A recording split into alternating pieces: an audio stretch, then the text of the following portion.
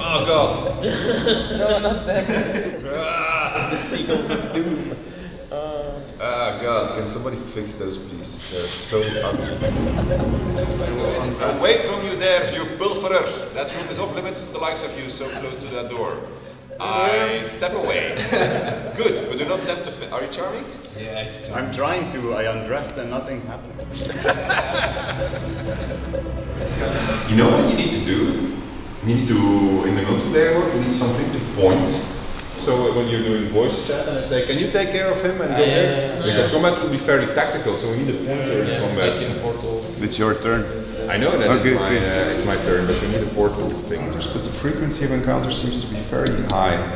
Higher than I had it in my mind. But I think with combat now, uh, you can run around a lot without having combat, and as soon as you enter combat, you know that you're only going to step like two meters and there's gonna be another one. Also, it's the way uh, we have enemies in this area. They're all ambushes.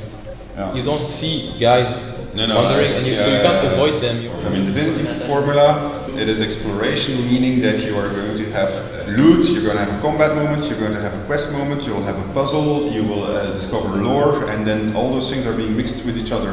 And wherever you walk, you will have something different than what you just did before. So the south is really, really, really good, yeah, yeah because you've got like 90% quality game over there.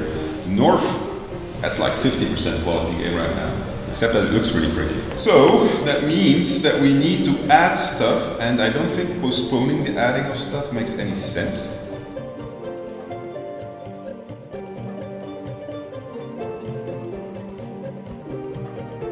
That's actually fairly cool, eh? We had fun now.